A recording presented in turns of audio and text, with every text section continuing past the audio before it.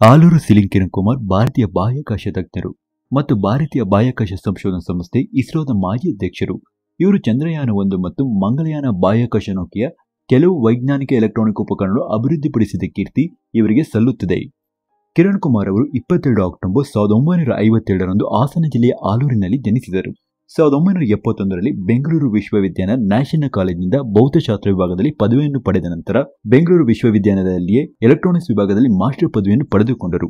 ಮುಂದೆ ಸಾವಿರದ ಒಂಬೈನೂರ ಎಪ್ಪತ್ತೈದರಲ್ಲಿ ಬೆಂಗಳೂರಿನ ಇಂಡಿಯನ್ ಇನ್ಸ್ಟಿಟ್ಯೂಟ್ ಆಫ್ ಸೈನ್ಸ್ನಲ್ಲಿ ಭೌತಶಾಸ್ತ್ರ ವಿಭಾಗದಲ್ಲಿ ಎಂಟೆಕ್ ಪದವಿಯನ್ನು ಪಡೆದುಕೊಂಡರು.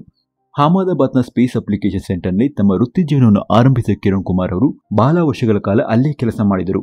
ಇವರು space Boney electro optical imaging ಉಪಕರಣಗಳ ಅಧ್ಯಯನದಲ್ಲಿ ಹೆಚ್ಚಾಗಿ ತೊಡಗಿಕೊಂಡಿದ್ದರು ಮತ್ತು ಎರಡ್ ಸಾವಿರದ ಹನ್ನೆರಡರಲ್ಲಿ ಎಲೆಕ್ಟ್ರೋ ಆಪ್ಟಿಕಲ್ ಸಿಸ್ಟಮ್ ಗುಂಪಿನ ನಿರ್ದೇಶಕರಾದರು. ಮುಂದೆ ಎರಡ್ ಸಾವಿರದ ಹದಿನೈದರಿಂದ ಎರಡ್ ಸಾವಿರದ ಹದಿನೆಂಟರವರೆಗೆ ಭಾರತೀಯ ಬಾಹ್ಯಾಕಾಶ ಸಂಸ್ಥೆ ಇಸ್ರೋದ ಅಧ್ಯಕ್ಷರಾಗಿ ಕಾರ್ಯನಿರ್ವಹಿಸಿದ್ದಾರೆ. ಕಿರಣ್ ಕುಮಾರ್ ಅವರು ಭಾರತದ ಬಾಹ್ಯಾಕಾಶದ ಮೊದಲ ಕಾರ್ಯಗಳಾದ ಭಾಸ್ಕರ್ ಟಿವಿ ಪೇಲೋನ್ನಿಂದ ಚಂದ್ರಯಾನ ಒಂದು ಮತ್ತು ಮಂಗಳಯಾನವರೆಗೆ ತಮ್ಮ ಕೊಡುಗೆಯನ್ನು ನೀಡಿದ್ದಾರೆ.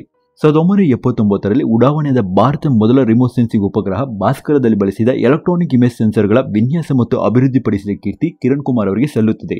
ಇದಲ್ಲದೆ INSAT three D Resourcesat microsatellite ಮತ್ತು ಕಾಟೋಸ್ಯಾಟ್ ನಂತಹ ಯೋಜನೆಗಳ ಚಿತ್ರಣ, ಉಪಕರಣಗಳ ವಿನ್ಯಾಸ ಮತ್ತು ಅಭಿವೃದ್ಧಿಪಡಿಸುವಲ್ಲಿ ಕಾರ್ಯನಿರ್ವಹಿಸಿದ್ದಾರೆ. ಬಾಹ್ಯಾಕಾಶ ವಿಜ್ಞಾನಕ್ಕೆ ಕಿರಣ್ ಕುಮಾರ್ ಅವರ ಕೊಡುಗೆಗೆ ಹಲವಾರು ಪ್ರಶಸ್ತಿಗಳು ಸಂದಿವೆ. ಎರಡ್ ಸಾವಿರದ ಹದಿನಾಲ್ಕರಲ್ಲಿ ಭಾರತ ಸರ್ಕಾರ ಇವರಿಗೆ ಪದ್ಮಶ್ರೀ ಗೌರವವನ್ನು ನೀಡಿ ಗೌರವಿಸಿದೆ. ಇಂಡಿಯಾ ಮತ್ತು ಫ್ರಾನ್ಸ್ ದೇಶದ ಬಾಹ್ಯಾಕಾಶದ ಕೊಡುಗೆಗಾಗಿ ಎರಡ್ ಸಾವಿರದ ಹತ್ತೊಂಬತ್ತರಲ್ಲಿ ಫ್ರಾನ್ಸ್ ದೇಶ ಅತ್ಯುನ್ನತ ನಾಗರಿಕ ಪ್ರಶಸ್ತಿ ನೀಡಿ ಗೌರವಿಸಿದೆ. ಬಾಹ್ಯಾಕಾಶ ವಿಜ್ಞಾನ ಮತ್ತು ಖಗೋಳ ವಿಜ್ಞಾನ ಕ್ಷೇತ್ರಗಳು ಮನುಷ್ಯನ ಆಲೋಚನಾ ಶಕ್ತಿ ಮತ್ತು ಜ್ಞಾನಕ್ಕಿಡಿದ ಕನ್ನಡಿಗಳಾಗಿವೆ. ಇಲ್ಲಿ ಪ್ರತಿನಿತ್ಯವೂ ಹೊಸದೊಂದು ಕಲಿಯಲು ಸಿಗುತ್ತಿದೆ. ಇಂತಹ ವಿಜ್ಞಾನ ಕ್ಷೇತ್ರದಲ್ಲಿ ನಮ್ಮ ಯುವಜನರು ಮತ್ತು ಮುಂದಿನ ಪೀಳಿಗೆಯವರು ಹೆಚ್ಚೆಚ್ಚು ಭಾಗವಹಿಸಬೇಕು. ಅಂತವರಿಗೆ ನಮ್ಮಲ್ಲಿ ಇರುವ ಈ ಕ್ಷೇತ್ರದಲ್ಲಿ ಸಾಧನೆ ಮಾಡುವ ಕಿರಣ್ ಕುಮಾರ್ ಅವರ ಜೀವನ ಸ್ಫೂರ್ತಿಯಾಗಲಿ ಎಂದು ಅವರ ಹುಟ್ಟಿದ ದಿನವಾದ ಎಂದು ನಾವು ಆಶಿಸೋಣ.